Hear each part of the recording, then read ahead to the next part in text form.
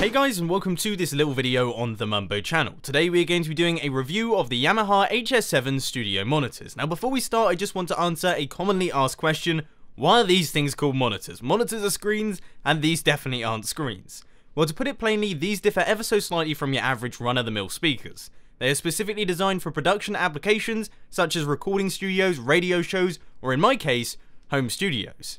Now they are special because they reproduce the audio accurately, designed to have a minimal emphasis on certain frequencies. Is it overkill for a small Minecraft YouTuber like myself to own such a specialist piece of kit? Absolutely. Does that mean that this was a silly purchase? Not particularly. Having the ability to listen to my audio back without various frequencies being emphasized has allowed me to manipulate my commentary far better than I ever had done before. Now onto the products themselves. As I mentioned in the unboxing video, these are fantastic in the looks department, especially in this matte white finish. I really do feel they add something to my current setup, especially sat on top of the MS200 studio monitor stands.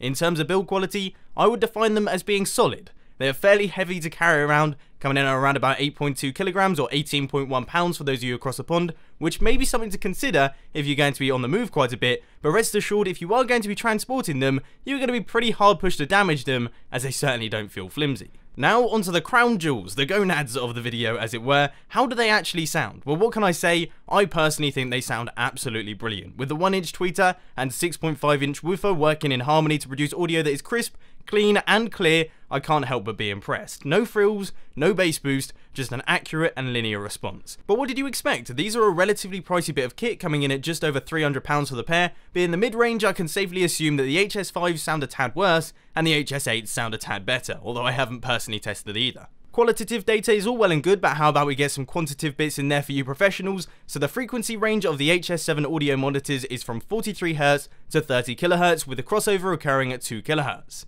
The output power is 95 watts, divided into 60 watt for the low frequency and 35 for the high. It is a bass reflex system, which for those of you who aren't in the know, that means that the speaker has an opening at the back, which increases the efficiency of the system at low frequencies.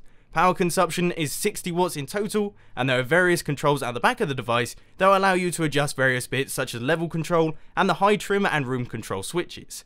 Finally, the dimensions of the monitors are 21cm wide, 33cm tall, and 28cm deep, so they aren't exactly pocket sized. Hopefully that is enough numbers and information to satisfy even the biggest of tech heads out there, and if you do want some more, I'll put some links down in the description to all of the websites they're selling them. But now for my somewhat underqualified verdict, if you are looking for a pair of audio monitors at a reasonably good price that look fantastic and perform well, look no further than the Yamaha HS7s. And as always, thanks for watching, and I'll catch you in the next one.